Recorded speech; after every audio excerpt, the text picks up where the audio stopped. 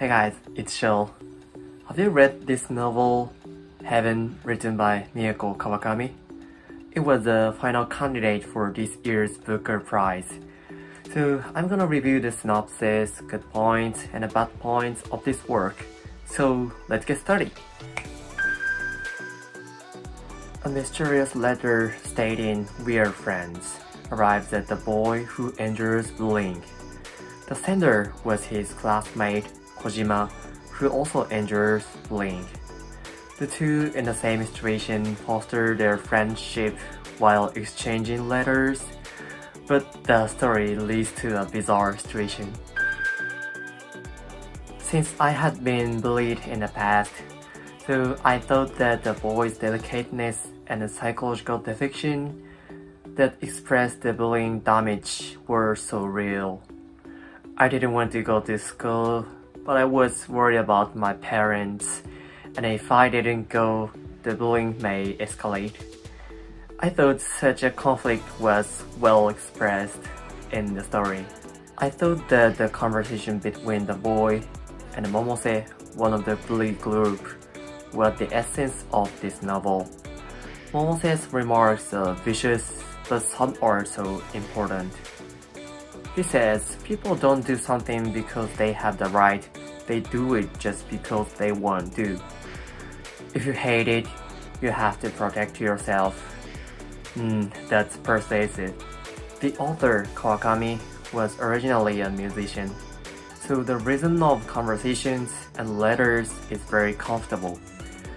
It's a heavy themed novel, but this rhythm makes it easy to read.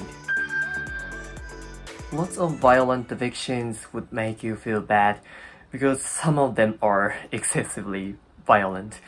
These depictions did not fit well with the author's original fast-paced conversational sentences, and I felt that they were not suitable for the writer.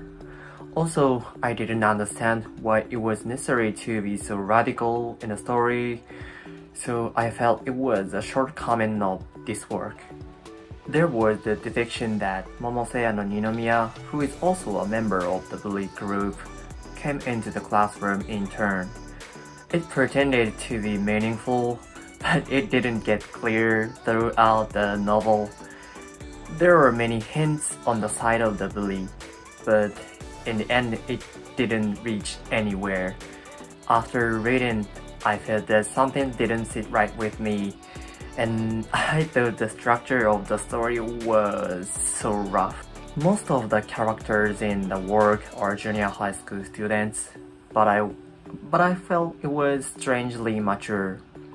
If it was a junior high school student, the bully would be more childish and the victim would be desperate and would not have normal judgment.